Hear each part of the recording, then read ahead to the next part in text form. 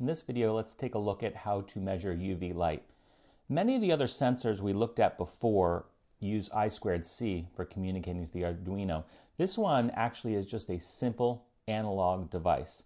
And I chose that for a couple of reasons. Number one, it uses less wires. And number two, I thought it'd be really interesting to look at how we can just read the voltage in on a sensor and get usable data.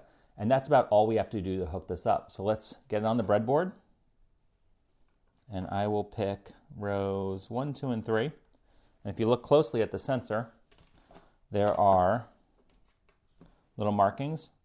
One says positive, and that goes to the positive 5 volts on the Arduino. Then you have ground on the other side, connects to ground. And in the middle, it says out. And that is our analog voltage out. This sensor converts UV into voltage between 0 and 5 volts. So it works perfectly with an Arduino. So we'll do that into analog 0. And that's all you have to do to wire this up. Now let's take a look at the code. We're going to base it off of a voltage read, but then we're going to customize it a little bit so we can convert it into a UV index. So we'll start by firing up Arduino.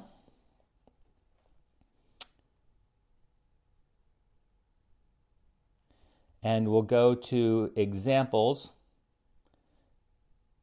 basic, read analog voltage.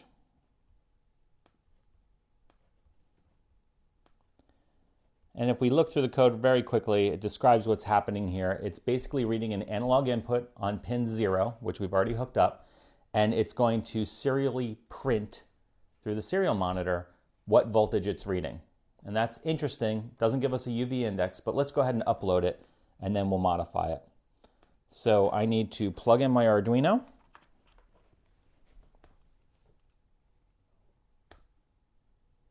And these both look great. So let's upload it. We should see this blink a little bit. There we go.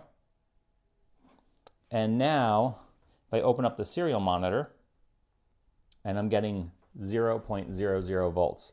And that is most likely because I'm indoors and there is no UV light in my office. Kind of a good thing. I work under compact fluorescent lighting and they claim to have no UV radiation. Now, one thing to note, you have to look at the manufacturer specs on these sensors because there's a difference between UVA and UVB, and you can't use a UV LED. That's not really what these are used for detecting. This is really for detecting sunlight.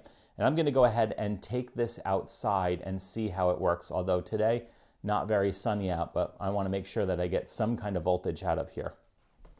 Now before I do that, let's modify the code a little bit. We'll close the serial monitor.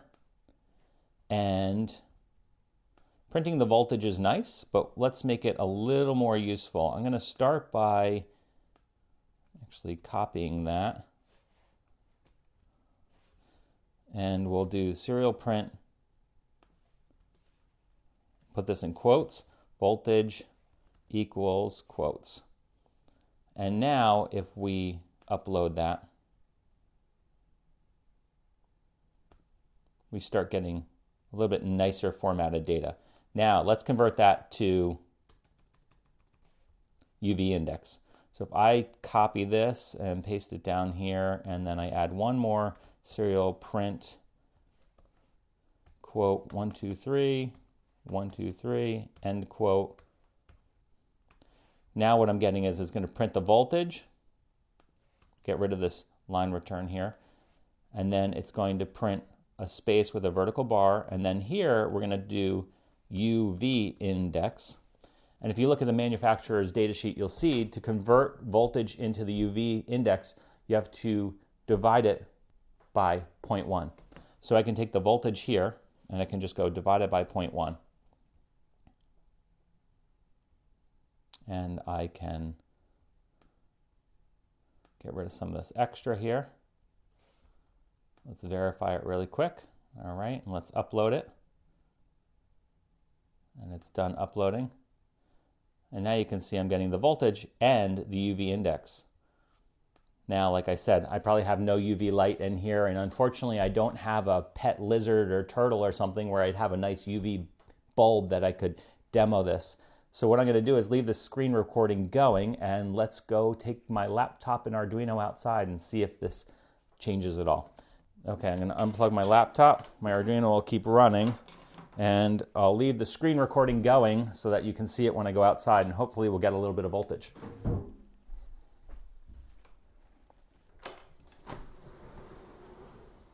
Now you see I'm outside and that voltage is going up.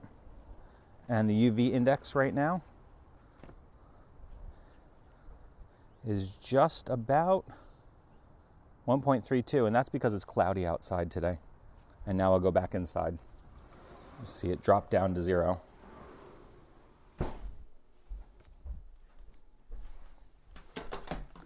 And it works. So that's how easy it is to use an analog sensor with Arduino with some built in code making slight modifications to get reliable data out of a very affordable little UV sensor.